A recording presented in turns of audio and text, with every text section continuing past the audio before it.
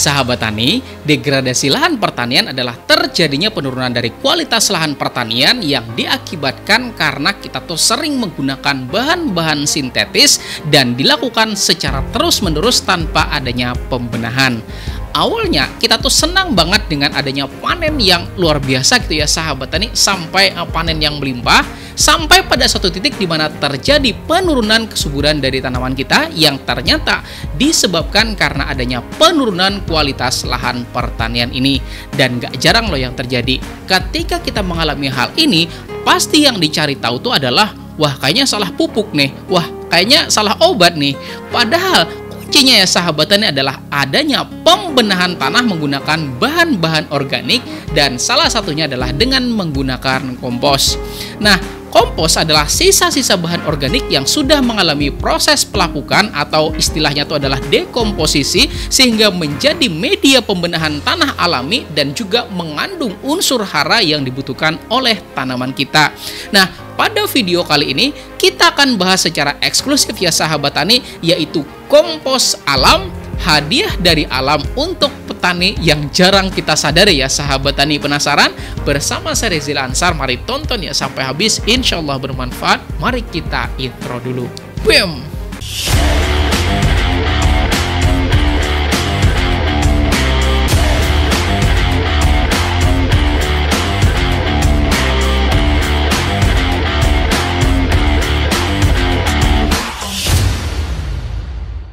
Saya doakan buat Anda yang sudah subscribe channel ini dan klik tombol loncengnya mudah-mudahan ilmunya makin berkah dan rezekinya tambah banyak lagi. Amin. Sahabat tani, tahukah Anda bahwa tanah yang subur adalah tanah yang secara fisik, kimia, dan juga biologinya itu baik? Nah, secara fisik, tanah yang baik itu adalah tanah yang memiliki tekstur dan juga struktur yang baik. Kemudian secara kimia, tanah yang baik adalah tanah yang memiliki kandungan unsur hara di dalamnya dan secara biologi, tanah yang baik adalah tanah yang memiliki kehidupan di dalamnya di mana mikroorganismenya itu masih aktif dalam melakukan proses dekomposisi atau perombakan dari bahan organik.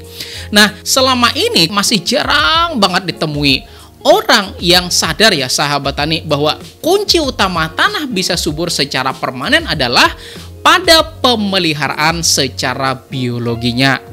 Nah, setiap hari mikroorganisme bekerja menguraikan bahan-bahan organik yang pada akhirnya dapat membuat tanah pertanian kita tuh menjadi subur dan juga gembur dan menyediakan unsur hara yang bermanfaat untuk diserap oleh tanaman kita. Nah, Mari kita garis bawahi di sini ya sahabat tani yang sudah saya sebutin tadi yaitu kata bekerja. Artinya, kalau nggak ada yang bekerja dalam mengurai atau mendekomposisi bahan organik di sini, ya wajar kan pada akhirnya bakal berakhir dengan kalimat itu loh dulu tanahku kok subur gitu loh, bagus-bagus panennya, tapi kok sekarang enggak ya kok kenapa gitu loh. Nah ini nih ya sahabat ini jawabannya. Makanya ya sahabat tani, mari kita simak tayangan berikut ini dan tanah yang baik, tanamannya tumbuh subur dengan seizin Allah. Dan tanah yang tidak subur, tanamannya hanya tumbuh merana. Demikianlah kami mengulangi tanda kebesaran kami bagi orang-orang yang bersyukur.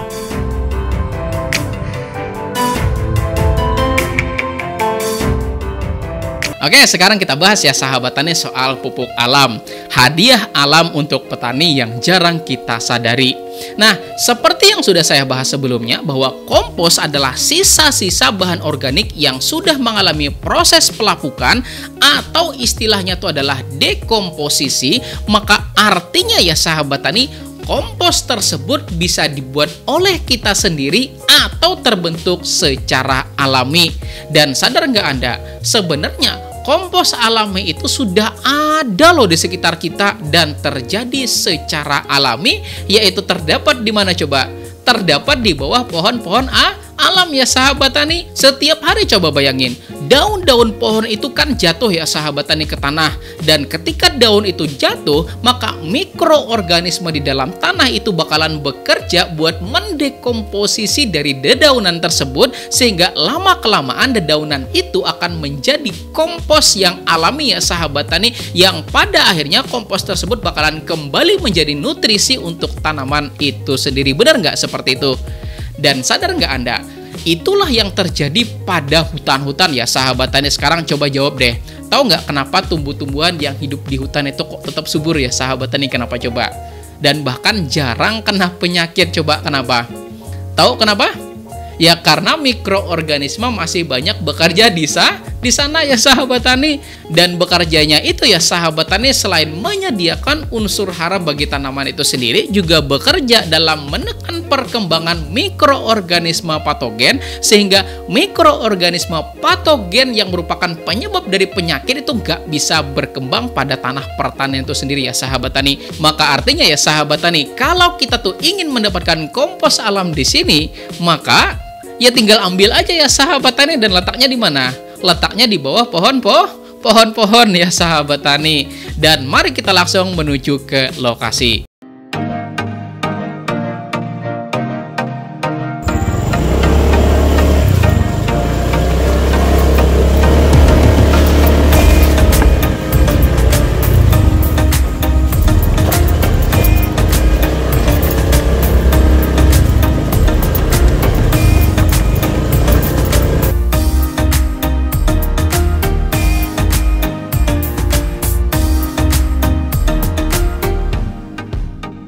Nah, sekarang saya sudah berada di bawah pohon bambu ya sahabat tani. Dan tahu nggak Anda bahwa tanah di sekitaran pohon bambu ini adalah kompos alami yang tadi saya sebutin. Yang terbentuk dari hasil pelapukan daun-daun bambu itu sendiri. Dan selain itu juga, akar bambu memiliki ragam mikroorganisme yang sangat-sangat banyak ya sahabat tani jadi artinya kalau kita tuh ambil tanah bagian sini ya sahabat tani itu sama aja kita tuh mengambil kompos yang terbentuk secara alami yang bisa kita gunakan pada lahan pertanian kita.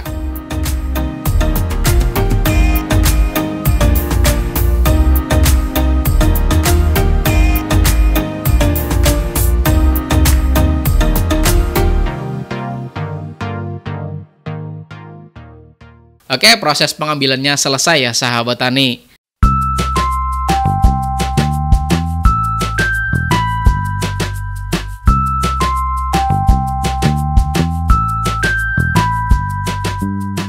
Nah, ini adalah sampel kompos alam dari lapukan daun-daun bambu yang tadi sudah kita ambil. Sekarang kita akan teliti lebih lanjut menggunakan mikroskop bagaimana sih kandungan mikroorganisme pada kompos alami ini. Pertama, kita timbang dulu ya sahabat tani sampel kompos alam yang bakal kita amati di sini yaitu sebanyak uh, eh, 1 gram aja gitu ya sahabat tani. Kemudian mari kita masukin pada wadah kecil. Lalu kemudian kita tambahin air seperlunya aja sampai agak encer ya sahabat tani supaya bisa diambil.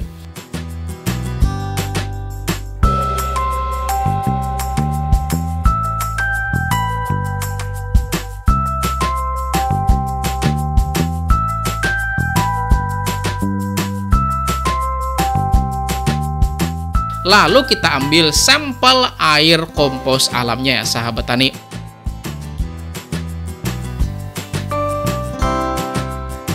Lalu kita taruh pada preparat.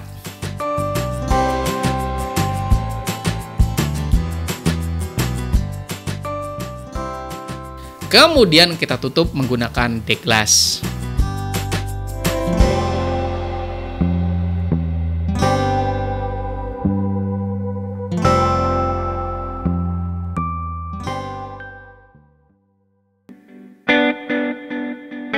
Sekarang kita akan taruh pada mikroskop.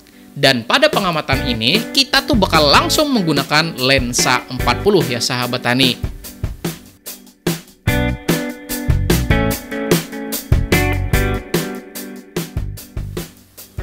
Nah, kita atur dulu ketinggian objeknya. Dan juga kita atur fokus lensanya supaya objek penelitiannya jadi lebih kelihatan ya sahabat tani. Nah, ini dia ya sahabat tani ragam mikroorganisme yang ada pada kompos alam. Nah, ini tuh bukan banyak lagi ya sahabat tadi tapi banyak banget ya enggak?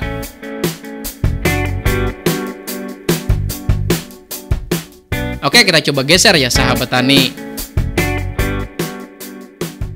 Nah, pokoknya ragam mikroorganismenya tuh banyak banget ya enggak ya sahabat tani? Nah, jadi gimana coba? Mantap kan? Sekarang kita akan amati lagi menggunakan lensa paling gede yaitu lensa 100 ya sahabat tani. Nah, ini dia ya sahabat tani, zoom dengan perbesaran paling maksimal. Nah, kelihatan mikroorganisme yang ada pada kompos alam. Gimana? Mantap? Nah, jadi tunggu apa lagi? Buat Anda yang sering mengeluh, wah Pak, bikin kompos itu susah Pak, bikin kompos itu butuh waktu Pak, butuh tenaga Pak, butuh biaya Pak. Nah ini pakai aja ya sahabat ini kompos alam. Anda bisa ambil secara gratis dan juga mikroorganismenya itu bah, banyak ya sahabat tani. Pastinya bakalan mantap digunakan buat tanah pertanian Anda.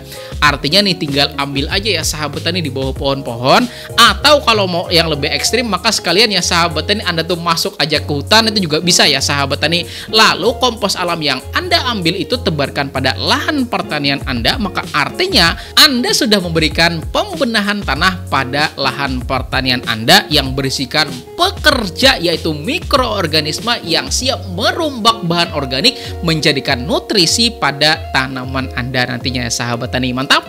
Dan insya Allah ya sahabat tani pada video yang selanjutnya saya bakal buatin ya sahabat tani kompos dual fungsi dengan bahan yang mudah banget didapat dan berfungsi baik sebagai pupuk organik cair yang bisa disemprotkan atau dikocorkan pada tanaman kita dan sekaligus juga pupuk organik padat yang bisa dipanen secara terus menerus ya sahabat tani mau? Dan karena pupuknya itu bisa dipanen secara terus-menerus, artinya ya sahabat tani, Anda tuh nggak perlu khawatir loh ya kekurangan pupuk buat tanaman Anda. Dan artinya sekaligus bakalan menghemat biaya, biaya ya sahabat tani, benar? Nah, sekarang gimana? Setuju? Apa setuju banget? Nah, kalau ada setuju ya sahabat tani maka silahkan tuliskan di kolom komentar setuju bikin kompos dua fungsi dan klik tombol jempolnya ya sahabat tani kalau Anda suka video ini dan silakan bagikan kepada teman-temannya yang lain supaya banyak yang tahu informasi bermanfaat ini ya sahabat tani. Terima kasih saya Rizali Ansar dari channel Penyuluh Pertanian Lapangan. Kita ketemu pada video lainnya di channel ini ya sahabat tani. Terima kasih. Wassalamualaikum warahmatullahi wabarakatuh.